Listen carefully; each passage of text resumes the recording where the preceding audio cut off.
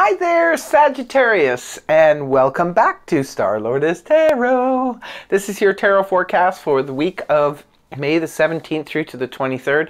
I went ahead, shuffled the cards, laid them all out. Let's see what's going on for the Sag. First up, we have the Seven of Wands reversed, followed then by the Three of Cups in the upright. Next, we have the Page of Swords upright, followed then by Major Arcana Temperance in the upright. And lastly, we have the Seven of Swords reversed. So for your overall energy, Sag, you have that of the Seven of Wands in the reverse position. Well, this points to letting down our guard. For some reason, we are no longer feeling defensive.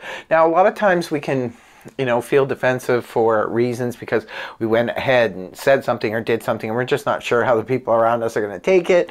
So we kind of like, uh, you know, put our guard up. Sometimes this can be where we're trying to protect our heart because, you know, we've been hurt and we're reluctant to let anyone get close sometimes this can come up when we're protecting other people.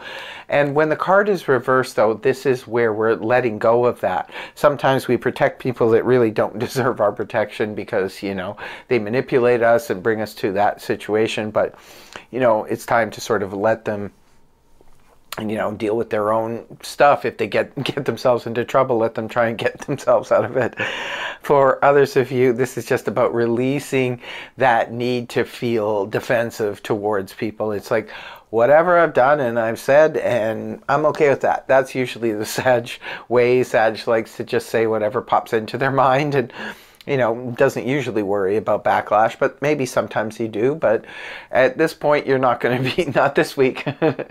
so this is about letting down your guard. Maybe some of you were protecting your privacy, protecting your heart, and maybe you're willing to open up your heart. And perhaps, you know, you're just not concerned about being in such protective mode this week. Could be because you're busy celebrating. At the beginning of the week, we have the Three of Cups in the upright position.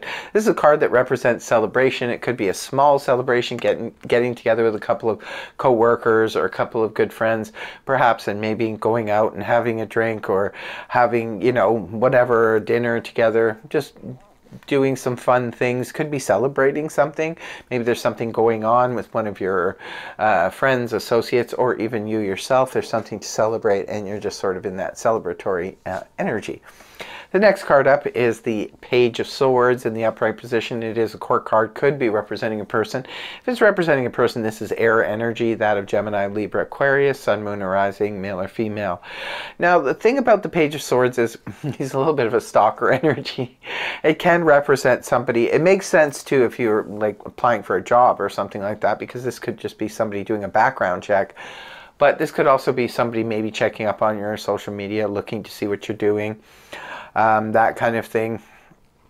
And also, the Page of Swords can sometimes represent a gossip, somebody who's sort of spreading rumors. You always have to get uh, more verification for any news or information that you hear. Uh, with the Three of uh, Cups being here in the reading just before, sometimes this can represent, because this can represent people getting together, a small group of people, maybe gossip or words are being spoken you have to make sure that you verify, especially if this is in a small group setting, somebody's telling you something. Because sometimes the Page of Swords reminds me of that, you know, around gathered around the water cooler and somebody's telling stories about what, you know, what they've heard, a rumor that's going around work or something like that. So you always need verification when it comes to the Page of Swords because remember he's just at a page level. For others of you, this could be getting news and messages maybe from somebody who you've just started dating or something like that. Maybe this person doesn't really know how to communicate all that well and just sort of gives you like maybe they're like a little bit immature when or not fully developed when it comes to their uh, speech and communication they could just be giving you one word answers and that kind of thing Moving on towards the weekend, we have the Sagittarius energy here, temperance in the upright position. It's my baker's card. Any of you baking or cooking this week could come up with some kind of killer recipe that just blows everybody away. This is also representing, it's very healing energy too. It's very nice. It's about having everything mixing and blending really well. It's good, especially if it's going to be a social week for you, uh, Sagittarius. This is about, you know, cooperation, balance, everybody sort of being on the same page and working you know, towards uh, things. And even when it comes to mixing people, maybe you have to put together some, you know, a group of people for a social event for work or even for the family or something like that. Don't worry, Sagittarius, it's going to work out beautifully.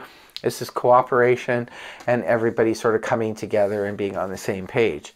And the last card you have is the Seven of Swords reversed. The Seven of Swords in the upright position points to that little bit of sneaky energy where somebody's trying to, you know, dip out, sneak off, trying to avoid things.